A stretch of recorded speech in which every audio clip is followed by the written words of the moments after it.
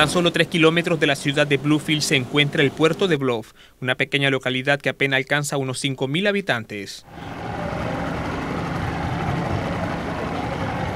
Su economía se basa en la pesca, una actividad que muere poco a poco por la falta de inversión para este sector. Aquí ya no hay empresa, pero si podía lograr ayudar de la empresa oceánica, aunque sea lograr a poner eh, una zona franca de, trabajo o...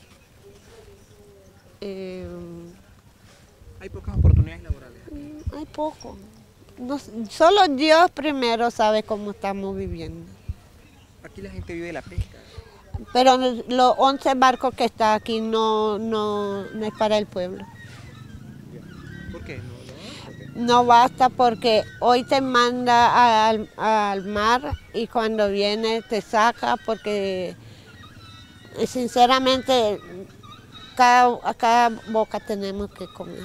Hoy solo quedan restos de grandes empresas que se dedicaban a la comercialización de pescados y langostas.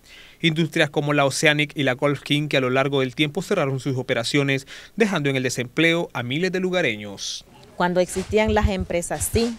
Eh, te estoy hablando de año 1990, ¿verdad? Pero ya a partir de 2000 ya no, porque las empresas que estaban patrocinando se fueron. Ve, por ejemplo, la Golf King, el Ocean, este, sí, Oceanic, y otros que habían se fueron y solamente quedó la empresa de chino que están aquí. Y ahí los varones prácticamente se dan en, como ronda. Por ejemplo, a mí me tocó que ir para este mes por 45 días, yo vengo, doy oportunidad a otro que esté esperando. Y así de esa manera pues vivimos. La falta de inversión en la zona genera que el sector joven de la isla de Bluff tenga que emigrar hacia otros puntos para buscar trabajo una situación que tiene preocupadas a las familias y quienes demandan atención de parte del gobierno. La juventud está emigrando a otras partes. Las amas de casa que las mamás están emigrando a Panamá, a Costa Rica, buscando trabajo.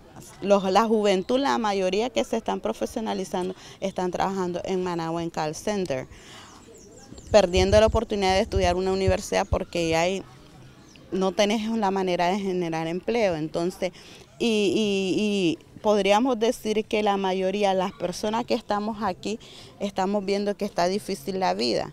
Entonces, lo que estamos haciendo nosotros es una manera de sobrevivir. Yo soy maestra de la nocturna y hemos visto ese, ese tipo de debilidad. Muchachos que se retiran de escuela, ¿por qué? Por trabajar en otros lugares, por ejemplo, en Cornaila, en La Islita, quizás en otros lados pues buscando trabajo y pierden sus estudios. Según los pobladores de la zona, las grandes empresas pesqueras y langosteras cerraron hace 15 años. Actualmente solo opera una industria de origen taiwanés, sin embargo la cobertura laboral es mínima. Con imágenes de David Flores, Francisco Fajardo Duarte, Notivoz.